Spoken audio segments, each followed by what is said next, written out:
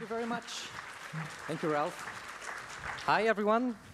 So I will be not talking about like this test habitats, but we are still in space, obviously, and I have only six minutes, so I better just start from the very beginning. And in the beginning, there was light, um, and Earth was formed. It was just in the right place. It was not too far. Uh, it was not too hot, not too cold. Just a perfect spot with enough energy for life to happen. Um, and with enough energy for this life to evolve. And then we evolved eventually. we pondered for a bit and we figured out that we can burn fossil fuels to, as an additional energy source, and that propelled our civilization very forward, quickly, greatly, good call. Almost, because we got so good at burning those fuels, we started to heating up our planet. We are overproducing everything, so yeah, there is a lot of pollution. And it's all because ever since industrial revolution, we are living in linear um, economy, when it's considered cheaper to buy a new product than to repair it or recycle it. It was born in misconception that we have infinite resources, and that's sadly not true. Now we are here. Very sad photo from the last year, I think. And I just need to tell you that we need to change our way of living. But I know that none of us will suddenly uh, become hermits. And we still need to feed ourselves, to develop our society. So, how to do that?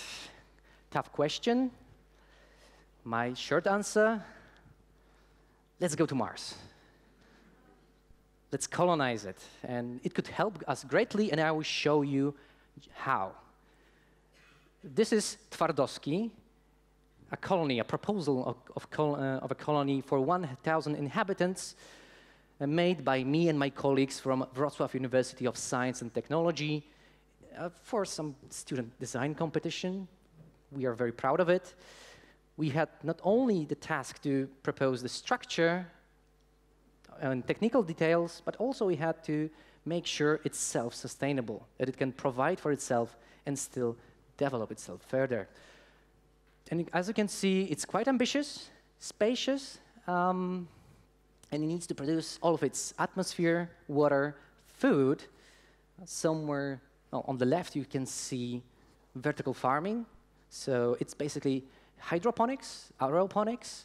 So you can mm, basically grow plants without soil, only using water and light. You can stack your uh, production it uses 80% less water, and it's a part of our life support system. Uh, exactly, environmental control and life support system. So it, pro it provides our colony with atmosphere, water, uh, and food.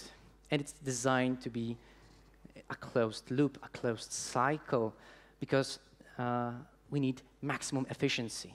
And we need to save our resources for better or worse.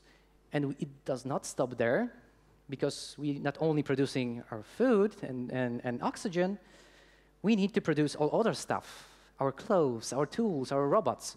And at the very top, you see six biomes where people live and all other things. It's a sprawling factory that can produce everything. And it also cannot be wasteful. It cannot produce everything in this uh, linear manner. Once again, we need a closed loop. So it means that we need to be efficient with our resources. So that means recycle, reusing, and repairing everything we have. And this is where this most important, crucial resource once again appear, energy. Everything needs power. Our life support system, our production lines, and you, need, and you need both up and running if you want this colony to survive. And this is when embodied energy, this term, becomes very important.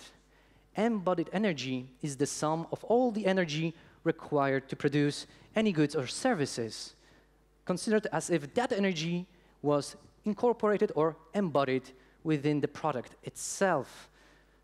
What that means? Well, it means it is the ultimate cost of any good. Uh, and it very well represents how much impact production of this good has on the environment. And it could be your house, your phone, your food. And you can calculate every single, uh, well, you can calculate energy for every single step in the living cycle of this product. And what else? You can optimize it. And you should optimize every step because you can use local materials to produce it without transportation. You can design this product to be more durable or use less resources or be easier to, um, to recycle.